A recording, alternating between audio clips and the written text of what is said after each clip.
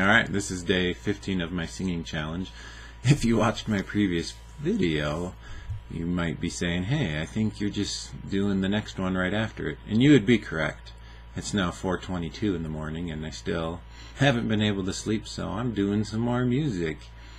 And I'm going to take a step back from doing all these love songs and do something a little different. When I was a, a young boy growing up, I, I grew up in the uh, LDS church, and I remember a lot of the music from those times. And, and one of the songs that my dad used to sing that I think is a pretty good song because there's a lot of uh, good things about this, and it's called "Give," said the little stream, and and the message of the song is that in our in our lives there's a, a the chance for us to to uh, give to other people, and that's definitely something that's something that resonates with me is is helping other people in their own lives because obviously uh, life can be unpredictable and chaotic.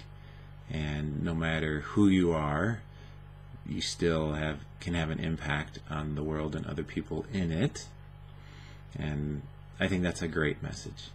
So let me sing give said the little stream now. I'm going to do it a cappella with no music so there you go Give, said the little stream, give, oh give, give, oh give, give, said the little stream, as it hurried down the hill. I'm small, I know, but wherever I go, the fields grow greener still. Singing, singing all the day, give away, oh give away.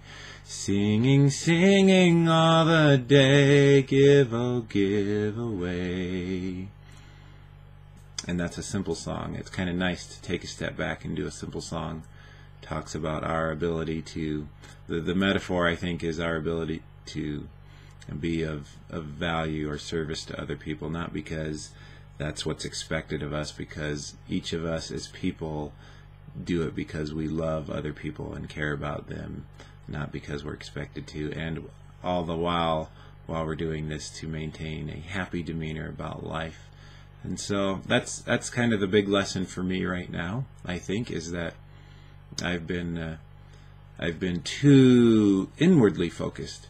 And what do I want? What do I want? How should life be like for me? And yes, that matters. That really matters.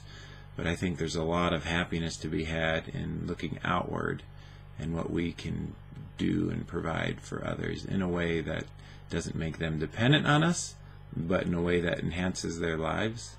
And so, anyways, this has been day number 15 of the singing challenge. Give said the little stream. Thank you for listening. And I think I'm almost ready to get some sleep now.